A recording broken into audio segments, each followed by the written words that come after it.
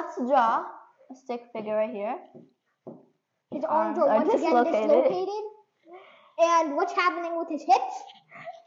And then it says that the midpoint right here, point B, this much is 50 centimeters.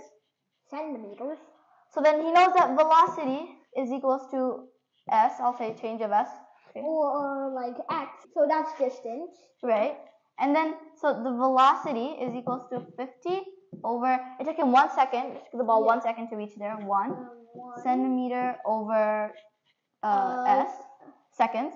But the velocity is 50 centimeter over second. But that can never be the unit for velocity. So v is equals it. to 0. Point, exactly 0.5 meter per second. Right. Hmm. So that is the velocity of that. That's but the fast. but the person doesn't want to know what the velocity is here. He, in, in well while they were traveling. The The average person, velocity. yeah, the person wants to know at this is average exactly a average.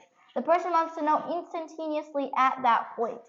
So in that case, all this gets erased, right? All this gets erased, and then when v is Wait, B is the midpoint, right? Yeah. So he's dropped it from 100 centimeters, which is one meter.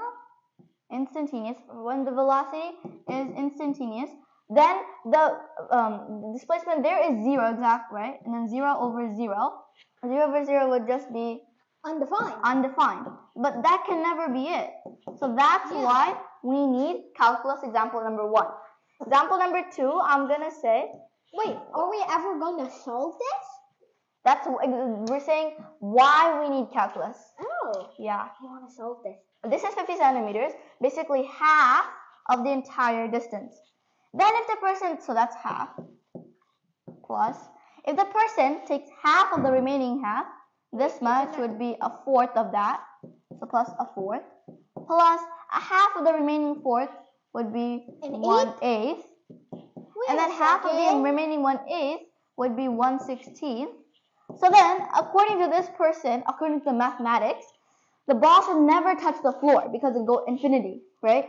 Well, technically. That's exactly why we need calculus because in re- in mathematics, the ball's never touching the floor, but in real life, the ball is.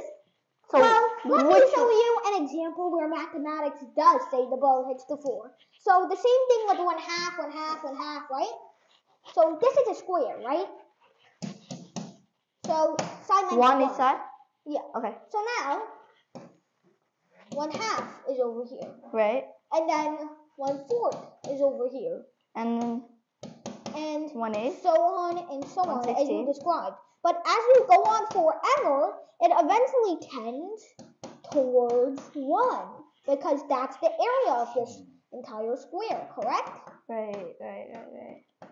So that means that with calculus, math does say That's why we need calculus. Yeah. exactly. Thank you, Soborno, for showing me um, a basic explanation of calculus. No problem. And thank you so much for showing me this little example. Now I want to solve it.